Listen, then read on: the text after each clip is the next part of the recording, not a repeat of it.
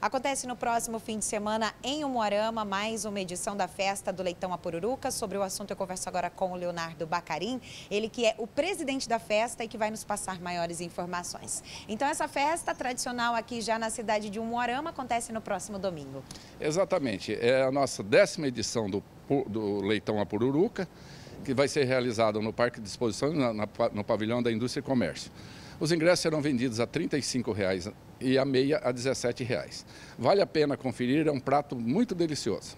Tá? E o, o, leitão ele tem já uma renda revertida para projetos sociais. É, é, é, a forma que, a, que, que, o nosso Rotary Clube Capital da Amizade é, é, é, arrecada uh, os fundos para que a gente possa tocar os nossos projetos sociais. Tá? É uma, for uma forma de arrecadação. Então, quando você estiver participando do Leitão a Peruca, você vai estar ajudando os projetos sociais do Rotary. Legal. E o Rotary também tem uma preocupação com as famílias. Todos os anos, quem participa já ganha o prato da festa. É, ao momento que você adquire o ingresso, você vai levar um prato com todos os patrocinadores adesivados no prato para que você possa levar para casa para levar como uma recordação da festa que você participou também. O prato é um direito que você tem de levar para casa. Inclusive, você leva também uma caneca para casa.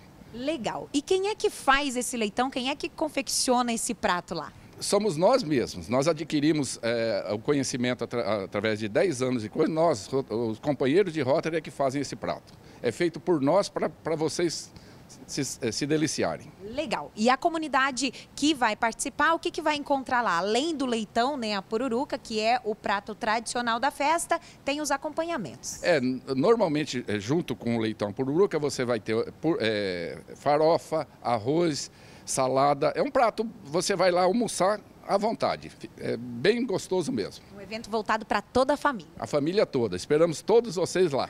Tá certo. Então, no próximo domingo, a partir de que horário? A partir das 11 horas da manhã até as 2 da tarde. Legal. Muito obrigado, Leonardo, pelas suas informações. Então fica o convite para toda a comunidade de Umuarama no próximo domingo. Oportunidade de comer bem e também de ajudar o próximo. Denise Lima para a TV UP.